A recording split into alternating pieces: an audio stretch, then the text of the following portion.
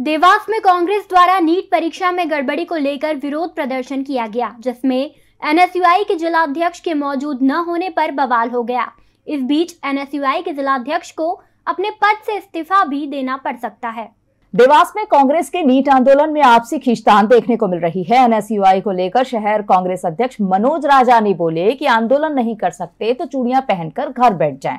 आपको बता दें कि नीट आंदोलन के समय एनएसयूआई के जिला अध्यक्ष श्रीकांत चौहान मौजूद नहीं थे, जिस पर उन्होंने टिप्पणी की थी। और अब उनका कहना यह भी है कि उन्हें जल्द से जल्द पद से हटाया जा सकता है।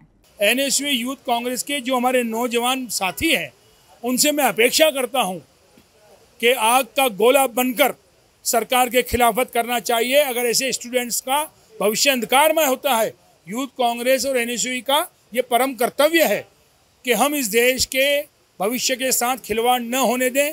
स्टूडेंट विंग के साथ जो गलत हो रहा है, पूरे देश खुली आँखों से देख रहा है।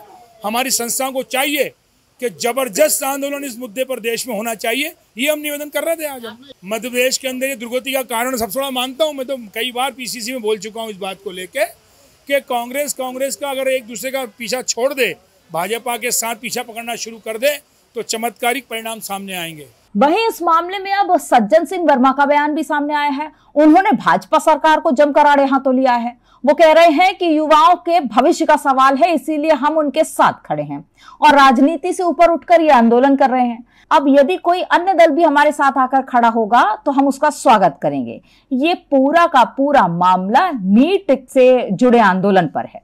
तो वो जज्बा पैदा करना पड़ेगा। ये भी कहता हूँ कि प्रदेश की सरकारों ने स्टूडेंट पॉलिटिक्स को ख़त्म किया, लेकिन जिसमें ज़िंदा दिली होती है वो स्टूडेंट अपनी राजनीतिक समाज जीवन को कभी खत्म नहीं होना देखिए हम तो आह्वान कर रहे हैं जिसको आना हो इस मंच पे आ जाए। वहीं आपको बता दें कि एनएसयूआई के जिला अध्यक्ष की धरना प्रदर्शन में अनुपस्थिति पर उनसे जब सवाल किया गया तो युवा कांग्रेस के जिला अध्यक्ष जितेंद्र सिंह गौड़ ने कहा कि वो आज देवास शहर से बाहर हैं, हालाँकि वो सवालों को टालते हुए भी नज़र आ रहे थे। ऐसा कुछ भी नहीं है। एन के जिला अध्यक्ष जो है, आज कुछ पारिवारिक कारणों से बाहर गए और राजस्थान गए हुए हैं। इसके कारण आज उनको सीख दी गई है कि एन द्वारा लगातार छात्रों के जो जो भी छात्रों के घोटाले होते हैं, जैसे अभी नीट और इनका घोटाला हुआ, उसमें एन को आगे बढ़कर हिस्सा लेना चाहिए।